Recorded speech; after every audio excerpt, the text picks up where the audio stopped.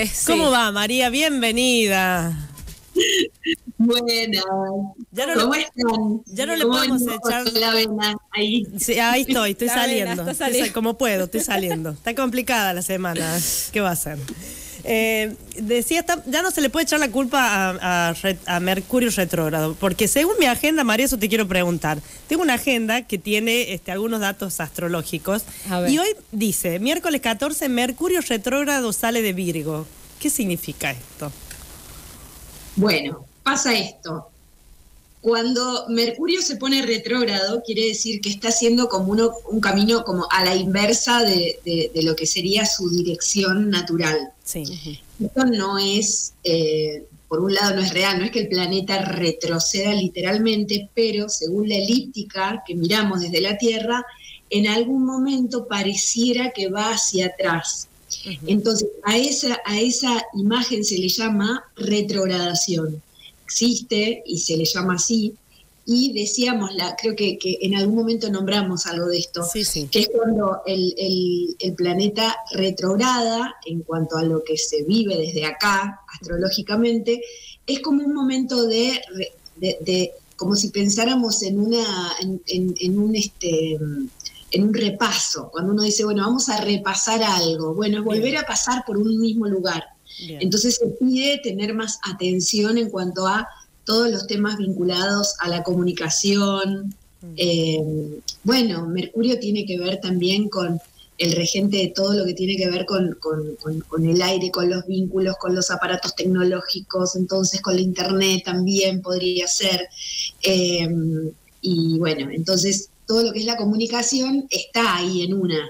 Claro. Eh, Por eso digo, sí. no, no, ya no estamos en condiciones de echar, en realidad no estamos en condiciones de echarle la culpa a nadie, ya siendo adultos. No, Salgámonos nunca. de ahí. Salgámonos de ahí. Eh, salgámonos de ahí. vamos Sí. a, a- a lo que teníamos previsto, que era hoy la propuesta un poco que salía de la semana pasada, de charlar sobre la compatibilidad o incompatibilidad de los signos. Digo que hay mucha expectativa acá en el equipo, están todos con una libretita, a ver qué Están todos acá. apuntando, María, a ver si se tiran de cabeza o salen corriendo. Es así el camino, es Claro. así el camino. O para un lado o para el otro. Alguien dijo, espera que veamos qué dice María hoy a las once y pico y después seguimos. Y después concretamos la cita o no. Ok, soy responsable entonces. No te queremos meter presión, María, pero No, bueno. no, no. Háganse cargo, háganse cargo. Bueno, vamos por el principio, María. ¿Qué es interesante o, o- o está bueno saber respecto de esto cuando decimos compatibilidad o incompatibilidad? Por el principio, vamos. Bueno, a ver, en principio, de- cuando hablamos de los signos, también hablamos de eh, que cada planeta está en un signo o en otro, ¿no? En, en nuestra carta natal, en nuestro dibujo eh, astrológico sería. Entonces, eh, cuando hablamos de compatibilidades, es eh, cuánto de, de- de armonía puede haber entre un encuentro entre un signo y el otro, muchas veces tiene que ver, por ejemplo, con el elemento del signo. A veces decimos, bueno, un signo de fuego como Aries o Leo o Sagitario, ¿qué le va a costar? Bueno, le va a costar la tierra, el parar, el- el- lo- la energía más estable, le va a costar todo lo que tiene que ver con lo taurino, lo capricorniano, lo virginiano. ¿Por qué? Porque el fuego hace directamente. Hace. ¿no?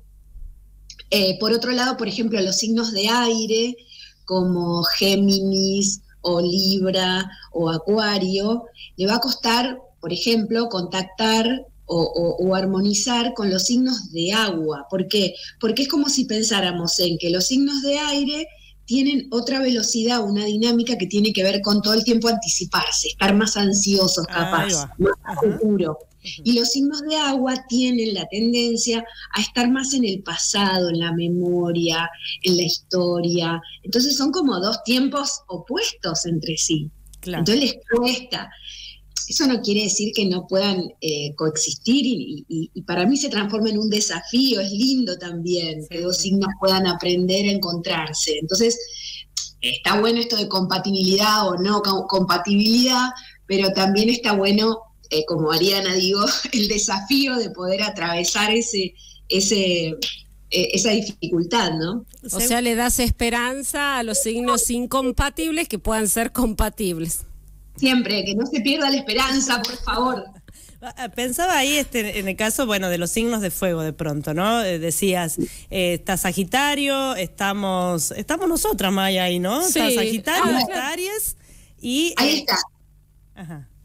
Bien. Y, Aries y Sagitario tenemos ahí. sí, Aries y Sagitario Yo por este Sagitario y Anto Aries. Y Aries. Ahí compartimos signo con María. Bueno, hay una, un, eh, creo que es uno de los vínculos más lindos, Aries y Sagitario. Ah, bueno, porque muy bien elegido el equipo, Maya, muy lindo, como bien para adelante todo el tiempo y eh, como que se retroalimenta ese fuego, ¿ven?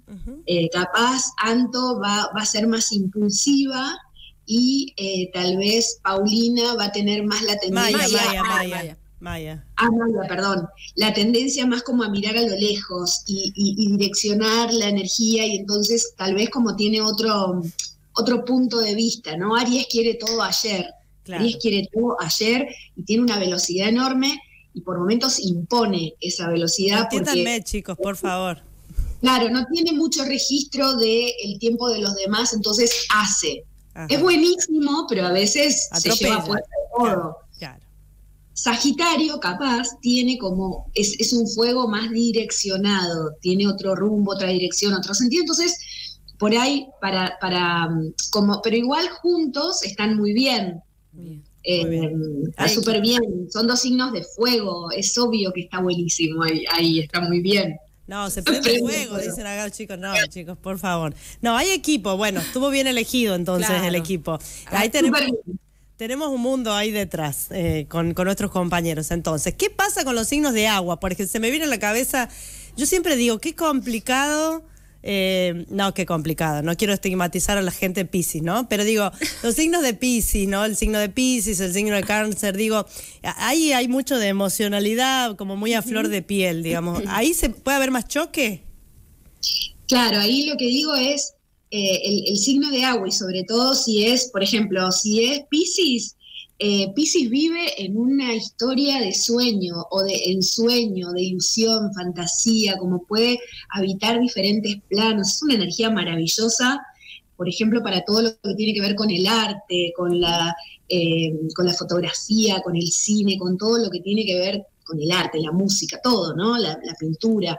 Entonces está como en otra, en otra temporalidad, decíamos. Entonces, eh, pero bueno, también existe algo que tiene que ver con que los signos tienen opuestos complementarios. Entonces, muchas veces personas que tienen la energía pisciana y tienen un alto nivel de sensibilidad, se, se van como, como si dijéramos, se van a su opuesto complementario, que es Virgo, en el caso de Pisces, Ajá. y entonces, por alejarse de ese mundo sensible, se van más a un lugar de discriminarse, quedar más en un lugar de ordenar, organizar, o sea, controlar, controlar esa sensibilidad.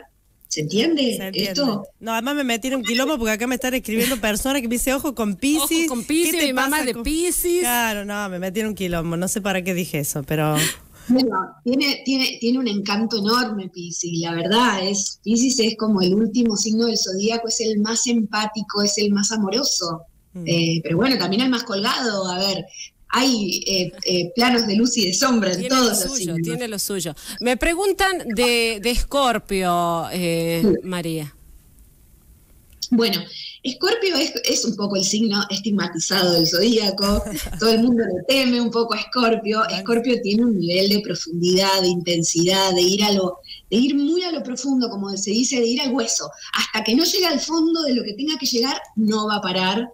Es un poco extremo en su mirada y tiene como esta, eh, entonces es todo o nada, o blanco o negro, o me das todo o no me des nada, o me decís todo o no me digas nada. Tiene Claro, esa es mirada extrema de la vida, pero también tiene esa hermoso, ese hermoso talento de saber eh, dónde le duele al otro. Eso Mm. le da un poder enorme porque o te mata o te acompaña en un proceso de sanación hermoso también, ¿no? Claro. No, s- son bravos, María. Son bravos, sí, Son son, bravos. bravos. Acuerdo, son son, bravos. Sí. El le, Bravo. le podríamos recomendar uno más de agua, un signo más de agua, más ¿A, a quién? a Escorpio. Escorpio. A Escorpio. A ver, a Escorpio le podríamos, por ejemplo, o de tierra, porque el agua y la tierra van muy bien. Ahí va. Por ejemplo, eh, a Tauro, Escorpio, o Escorpio Tauro, o por ejemplo, eh, no sé, Escorpio lo, lo pondríamos con, eh, a ver, vamos a ver un signo que sería como más complejo por ahí. A ver. Eh, Escorpio, lo- por ejemplo, con Aries van muy bien porque se retroalimentan también, pero uff, Uf. alto fuego ahí, ¿no? Sí, no sé. Pero por ejemplo, eh, Escorpio ¿Y Escorpio y Escorpio, María? Bien. Escorpio, Escorpio está bien, se van a bancar en la intensidad. Ahora, uff, qué conflictivo, qué, qué, Chicos, quilombo qué agotador, qué agotador, qué agotador. Claro, ¿no? ¿Cómo salís de ahí? Agotado. Claro. Alguien que salve esa, esa situación. Bueno, Claro, eh, claro. acá me preguntan de cáncer también. Bueno, hablamos un poco de los signos de... eh, Ah, cáncer es un signo muy eh, introvertido, muy sensible, ¿no? Introvertido. Y también muy ciclotímico, como de pronto también, de pronto no les pintó otra historia, de pronto no se enojaron, de pronto. bueno, son ¿no? muy ciclotímicos, muy sensibles al clima de, de- de lo emocional.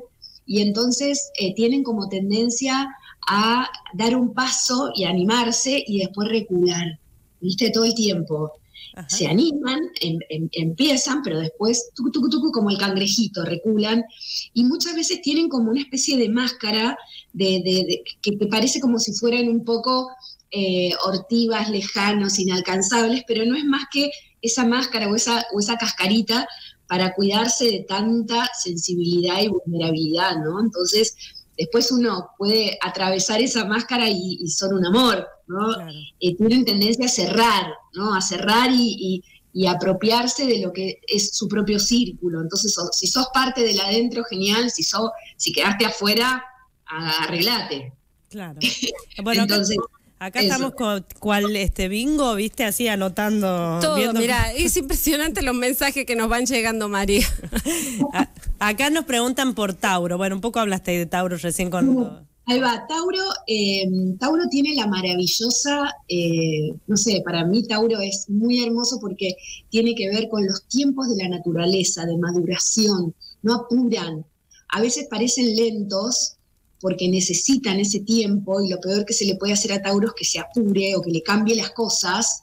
Tienen tendencia a querer que todo esté siempre en el mismo lugar, eso es imposible, tampoco, tampoco eso, Claro. pero sí tienen tiempos maravillosamente eh, que hemos perdido, que son los tiempos de la naturaleza. Entonces, eh, el, sentarse tranquilo a almorzar, el, el tener un rato en la naturaleza, como es, esos tiempos taurinos son maravillosos y, y del proceso, ¿no? Como que todo el tiempo están procesando la información, masticando, ¿no? Masticándola, masticándola, hasta que en algún momento eh, eh, bueno, nada, se, se cae, cae la, cae la ficha, cae la historia, entonces, y, y- pero les va a llevar su tiempo, ¿no? Procesar una información nueva. Claro, si estás con alguien taurino, taurina, banca. Banca Claro. Banca, tal cual. Banca. Bien. Y te pregunto por un signo que además ahora entramos en la temporada de Leo, ¿no? O Sí. sea, arrancó Leo. Eh, bueno, Leo, Leo.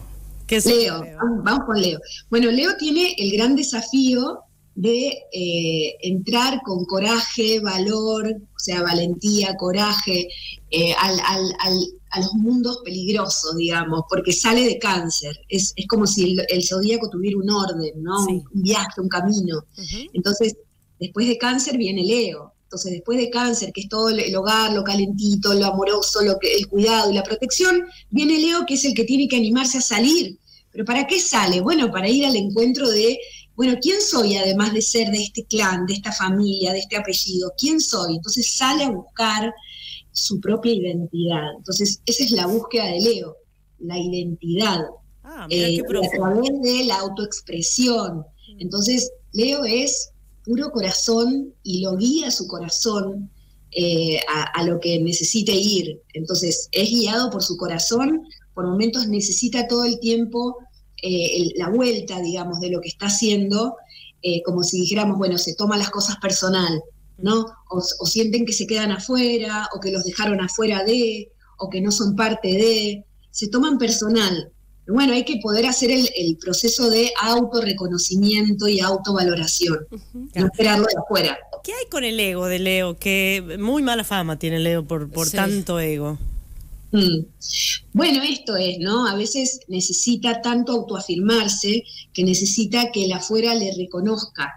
¿Pero para qué que le reconozca? Para poder lograr su identidad. Se identifica si el afuera lo reconoce. Entonces hace, hace, muestra, brilla para que, para que se note y tenga el retorno de quién es. En realidad tiene que poder aprender a no depender de que el afuera lo reconozcas. Por eso decíamos, la, el autorreconocimiento, la autovaloración. ¿Por qué? Porque todos salimos al mundo haciendo lo que podemos con lo que tenemos. Si vamos a estar esperando que el mundo nos reconozca, nos diga, nos, sonamos, ¿no? Bueno, ese es un poco el tema del ego de Leo. ¿Y, y, con Virgo, María? Bueno, y Virgo, como decíamos, es el, eh, creo que el, el, el, martes, el, sí, el miércoles pasado, decíamos que Virgo es como el gran ordenador. Eh, Virgo es maravilloso en el sentido que ordena, organiza toda la información, es como una gran CPU, podríamos pensar, no sé, ahora ya quedó antiguo el término, pero es como el gran ordenador, es la grilla ordenadora, es el, el, el signo que también está eh, generosamente disponible eh, a voluntad de los demás, de lo que los demás necesiten, es súper servicial. Mm. Eh, y está como al servicio de un orden mayor.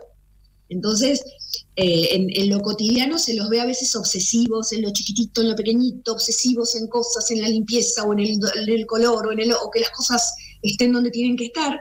Controlan, controlan, controlan, hasta que si pueden dar el paso de eh, tomar contacto con que están al servicio de un orden mayor, no de ese orden tan chiquitito, sino que pueden ir un escalón arriba y, tomar contacto con ese orden mayor, dejan de estar tan obsesivos, ¿no? Claro. Bueno, eh, nos queda repasar que también nos pregunta acá, vayan anotando, vayan haciendo, eh, si fuese, mm, si esto fuese mm, alguna plataforma, diríamos hacer match, ¿no? Vayan ustedes anotando y vayan cruzando. No, nos preguntan. Vayan viendo las posibilidades. Vayan viendo y vayan tachando, cruzándola. Eh, nos preguntan, falta Acuario. Acuario. Bueno, Acuario es el raro, el raro del zodíaco, ah, el que siempre todo el tiempo se siente exiliado desde que nació, se siente exiliado, como, como no pertenezco a este hogar, no pertenezco a este grupo, no pertenezco allá ni acá, y entonces tienen como un trasfondo de angustia de no pertenencia opuesto a cáncer, ¿ven? Pero sin embargo tiene un olorcito, ¿ven? Sin embargo, hay algo de eh, que tienen que aprender a entender que son parte, de nuevo, no de un hogar, de una casa, de un clan, sino de una red mucho más grande, ¿no? Entonces, somos una gran red, somos humanos, más allá de que no, nos cueste un montón vernos como comunidad, Acuario trae esto, la comunidad, la red, el equipo, el estar para los demás, los amigos, eh, el contacto con una mirada vanguardista y futurista eh, y, rápida y creativa de, cómo hacer para que cada uno pueda desplegar su mejor eh, forma de crear, uniéndose con otros que tienen otras formas de crear y armando un equipo, una red hipercreativa. ¿ven? Entonces Acuario la ve. Está muy bien. Mira, digo que hay gente que ya está tomando decisiones de vida amorosa en función de lo que estás diciendo. Ya hasta están pidiendo qué hacer. Son un poco fóbicos, hay que decir también, ¿eh? Son un poco fóbicos. Necesitan aire, espacio, libertad. Ahí va. Necesitan sentirse que tienen el espacio. Bueno, tienen que aprender a sentir esa libertad más allá de si están en un vínculo o no. La libertad está acá, no está en que alguien te la coarta. Claro. Bueno, ya sabes, este, no vamos a decir nombre, pero ya sabes cuál es la decisión que tenés que ir tomando. Acá están, te digo, tomando decisiones en base a, te van a ser responsable de algún modo. Eh, cortito te pregunto, María, ya para cerrar, eh, igual podríamos hacer algunas otras consultas porque llegan muchas, te digo. podríamos tener acá toda la mañana. Eh, solamente explicarnos esto de los, de los, de los decanatos, ¿no? Hay signos que muchas veces dicen, ah, bueno, pero vos sos del primer decanato, yo soy del segundo. ¿Qué significa eso? Es como si pensáramos que cada signo dura 30 días, ¿no? Son 12 signos, 30 grados, 30 días, hay, algo que se, que se, hace como una división eh, como para que ocupen el círculo completo de 360 grados, que es la circunferencia. Entonces, en esa, en esa circunferencia se divide en 12 signos. A cada uno le corresponden 30 grados. Si a esos 30 grados los imaginás como 30 días más, más o menos, ¿no? Que dura cada signo, entonces esos 30 días los dividís en tres. 10, 10, 10. Por eso se, se llama decanato. Bien. Son los primeros 10 días de ese signo, los, los segundos 10 días o los terceros 10 días. Ajá. Entonces, por ejemplo, el primer decanato es un decanato que está entrando en esa energía, el segundo está fijo en esa energía y el tercero ya se va como despidiendo de esa energía y acercándose a la que sigue. ¿Se entiende? Sí. Sí, a, sí, a ver, sí, yo sí. y que soy del 4 de diciembre, ¿qué sería? El segundo Eh, de a ver, me parece que sos del segundo, a ver, Sí, saquemos la segundo, cuenta. segundo, No, segundo, matemáticamente, segundo. chicas, no me pidan mucho, No, soy tampoco, rápida. Tengo No, Mercurio Maya en Tauro, cosas- a ver si entendieron. Co- Tengo Mercurio en Tauro. Ah, bueno, no. No es mi manera de pensar. A nosotros no nos pidas con números y cosas, pero yo deduzco que si empieza el 21 de noviembre, eh, está como a la mitad, entonces deben ser como el segundo decanato, ¿no? Me parece, ¿no? Sí, sí, sí. Claro. Entonces, bueno, nada, es una sagitariana de pura cepa. Ah, Cepa. intensidad, Intensidad. A full. A full. Fuego sería. Sí, sí, puro fuego, puro fuego. Claro, pero el fuego de Sagitario no es el fuego de Aries, ¿ven? El fuego de Sagitario es un fuego que ya viene, viene, eh, viene siendo ya eh, transitado, ¿ven? Entonces está muy bien direccionado el fuego de Sagitario. Ah. Sagitario es un fuego que le gana a todos. A ver, no va a perder ni uno. le gana a todos Sagitario. Ojo, ¿eh? Ponele, entre Aries y Sagitario ni, ni la pelees. O Ah, sea, no, listo, me doy por vencida. No, además contó cosas, este, algunas cosas mayas de trampas en la secundaria que yo ni me atrevo, te digo, ¿eh? No, no, no, me quedo acá, me quedo acá. Es el fuego.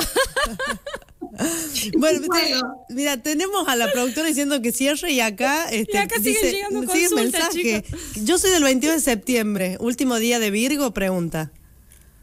Eh, el último día de Virgo, sí, me parece que sí, porque ahora el 28 de, de agosto empieza Virgo. Sí. Así que ahí más o menos date una idea. Sí. Pero hay que ver exactamente la hora de nacimiento, porque hay personas que nacen justo entre un signo y el Ay, otro y creen toda la vida que fueron de Virgo y no, che, no, no, no es Virgo, es Libra. Ojo, ¿Ves? Por ejemplo. ojo, ojo, Ignacio, ojo, Ignacio. 12 del mediodía, Eh, dice que la están ahí entre uno y otro cuando están en el borde, entonces tiene un olorcito a ambos signos. Tiene Virgo, pero ya también entra en el, en, en el team eh, Libra. Libra. Bueno, está Es preocupado. La duda, Libra es la duda eterna, Ah. todo el tiempo va a dudar. Nacho, me parece que sos de Libra, te digo. ¿Qué querés que te diga? Ya con esto que dijo María, me parece que. Pensaba que Géminis era más dudita- ¿No? duditativo, sí. no. No, no, el que más duda es Libra. Géminis, en todo caso, abre y tiene muchas opciones, entonces le lleva el tiempo de abrir y abrir y abrir, entonces elegir, qué elijo, pero, pero Libra se la pasa dudando. ¿Por qué? Porque está muy atento a la decisión del otro, demasiado atento. Entonces pierde de vista su propio deseo en pos de estar atento a qué es lo que el otro hace o no hace. Entonces, todo el tiempo se la va a pasar intentando equilibrar o armonizar. Es el gran mediador Libra del zodíaco. Está mediando todo el tiempo. Interesante. Bueno, le vamos a mandar entonces que se haga la carta astral a Nacho. Así saca, despeja algunas dudas. ¿Qué Nacho Aparicio? No, Nacho No, Daniele. que nos está muy muy preocupado. Está. Muy ¿Quién, preocupado. quién soy? ¿Qué soy? Estamos sacando a la luz todos, a todos, ahí a todas, con los signos. No ¿eh? sé, no sé cómo queda este equipo después de un par de meses, te digo, No sé si María. el co- hay compatibilidad. Bueno, a lo mejor hay que reorganizar los lugares. Ahí sí, va, no, ojo, no, ¿eh? Ojo. Ojo con eso. Ojo, capaz tiene que venir No a conducir entiendo. Nacho y no. Sí, no sé. Nosotros nos vamos a hacer gráficos. María, como siempre, eh, muchas gracias. La verdad que no, nos vas abriendo luz para tomar decisiones. Muchas gracias a ustedes. Gracias, Así, María. Muchos, muchos besos y abrazos y, y desde ustedes para todos ahí. Gracias, Muchas gracias. gracias, Nos María encontramos la querida. semana que Un viene. abrazo grande. Gracias. Bueno, Bueno. nos vamos con